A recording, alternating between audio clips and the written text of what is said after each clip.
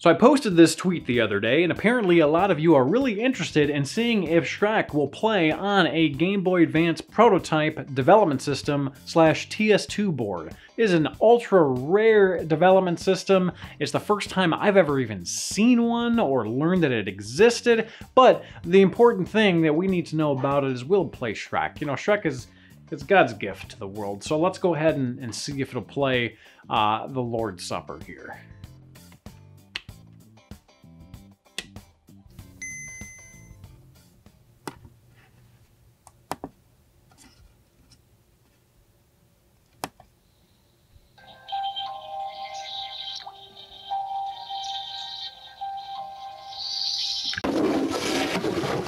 Somebody once told me.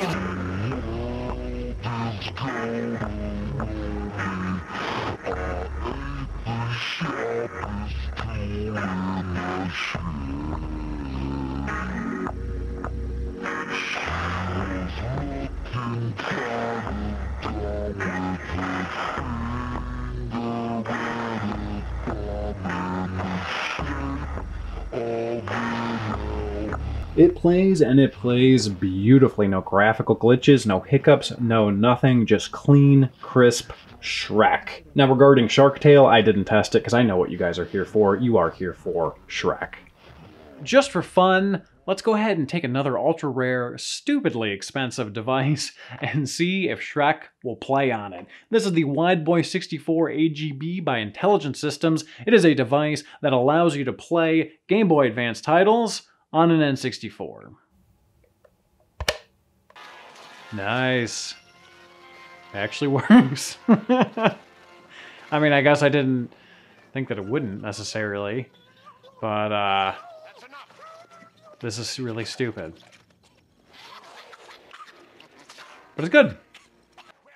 Wait a minute. So after watching for a couple 30 seconds or so, it just goes to the intelligent systems logo. I can pause it. Like the sound pauses. All right then, who's hiding? But the visual goes away. Okay, I'll tell you. I'm actually recording this before I record my Wide Boy episode, so maybe I just don't know the Wide Boy well enough at this point in time, but if you stop playing for a couple moments, does it does the visual go away on a Wide Boy? Okay, so it, like lost sync or something. I tried resetting the N64 and it didn't work. Now I reset it without any game in the wide boy, and this is what it gives me. So this seems normal. I'm gonna go ahead and try just a normal game here. See what happens. I'm not gonna press anything for a minute. I'm gonna see if it does the same thing that I did with the Shrek, where it just kind of kind of flat lines, I guess. Okay, so that's about a minute into the main game here. Nothing happened in terms of the wide boy kicking us out back to like a intelligent system splash screen or anything like that. Gonna try Shrek one more time. Okay, so let's try watching the movie again. Let's go ahead and start it right from the beginning.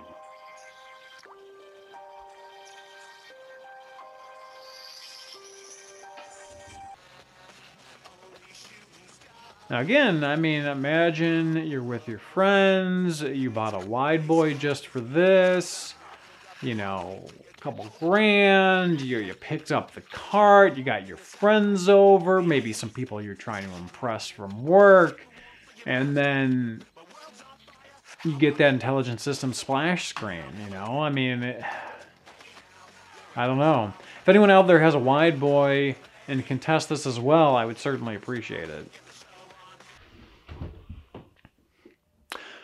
So I shut down the N64, I took out the cartridge, I reseated everything one more time, and I'm playing it, and I don't see any issues. I think that previous time was just a fluke. So I, am going to give the wide boy a tentative. You should watch Shrek on a wide boy. Uh, tentative. So, you know, if you got the money, definitely spend it. If you don't, you may want to choose a cheaper alternative for watching Shrek Game Boy Advance video with friends and family. So thank you all for joining us on this silly little journey. I do wish that John was with us though. Unfortunately, due to the current pandemic, he is not. Uh, he is the one who set us off on this Shrek journey. So I do uh, owe him a debt of gratitude. I will say that uh, he is not with us not because he's ill, but because due to the pandemic, we are shelter in place and quarantined and he cannot come over. However, uh, I do have his ashes, so that'll have to function as a substitute. Again, he's perfectly healthy. We just always have John's ashes on hand. It's a long story. If you've been a fan of the show for a while, you you know the backstory of this. I'm not going to explain it here. Check out some old videos if you want to know. But aside from that, John, I'm glad you could be with us. John, I'm sad that you can't be with us. We'll see you all next time.